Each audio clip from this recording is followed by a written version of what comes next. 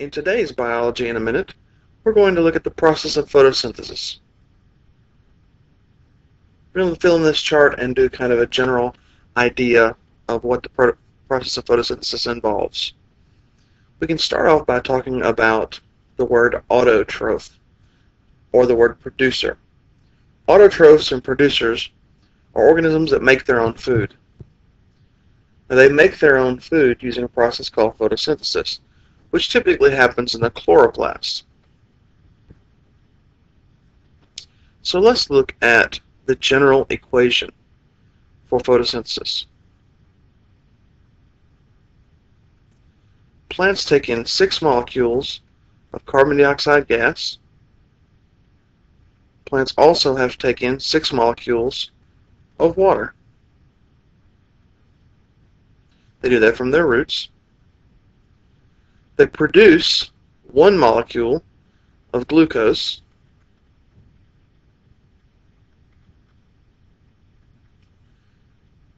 and six molecules of oxygen gas. And remember, all this happens in the presence of our energy source.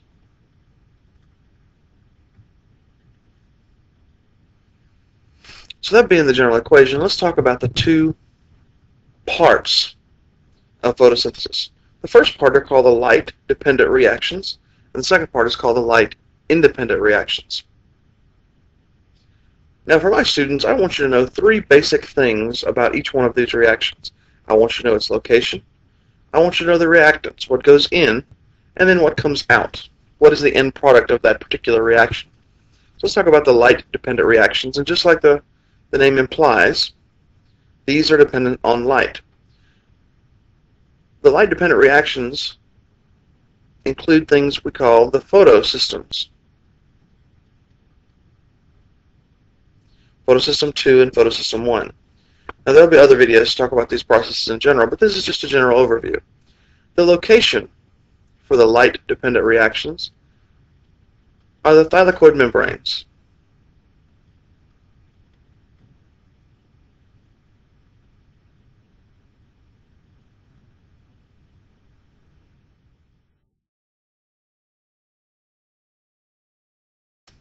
Alright, so let's talk about what goes in this process. Of course you've got sunlight.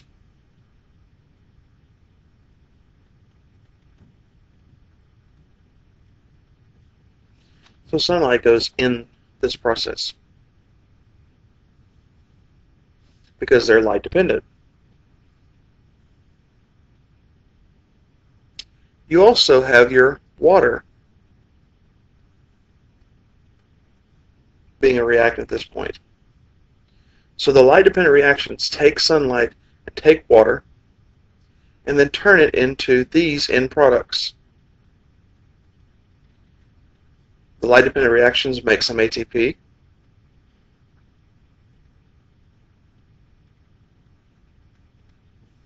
The light reactions make NADPH. And the light reactions also produce our oxygen. Now, the oxygen, of course, is breathed out by the plant as waste. Of course, you know, I say breathed out, it's released by the plant as waste. These two things we're going to use in just a minute.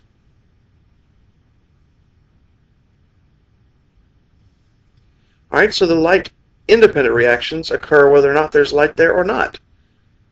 This involves the Calvin cycle. Or you may hear called Calvin-Benson cycle. The location of the Calvin cycle occurs in the stroma of the chloroplast, or the liquid interior of the chloroplast. You'll see that in the diagram.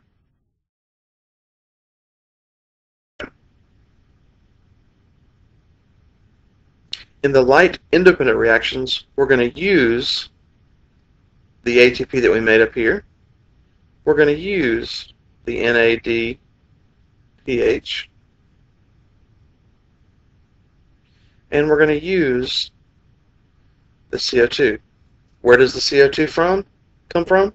Remember the plant takes it in.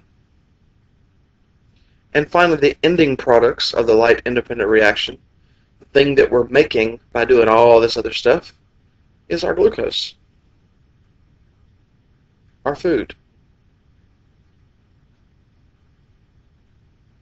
So to summarize this chart, light-dependent reactions occur in the presence of sunlight. They include the photosystems, 2 and 1. It happens on the thylakoid membranes, take, uses sunlight and water, and produces ATP, NADPH, and oxygen gas, which is a waste product that comes from the splitting of water. The H from the water is here. The O from the water is there. So the water is the uh, oxygen is just released from the plant as a waste. These two things are going to move down here, and we're going to use those in the light-independent reactions. Calvin cycle happens in the stroma, the liquid interior part of the chloroplast. ATP and NADPH we're going to be using. CO2 we're going to use from the atmosphere to produce our final end product, which is glucose. A little summary so you can see what goes in and what comes out of these reactions, and I hope it helped. This has been Biology in a Minute. Thanks for watching. Please remember to rate and subscribe to the channel. Thanks a bunch.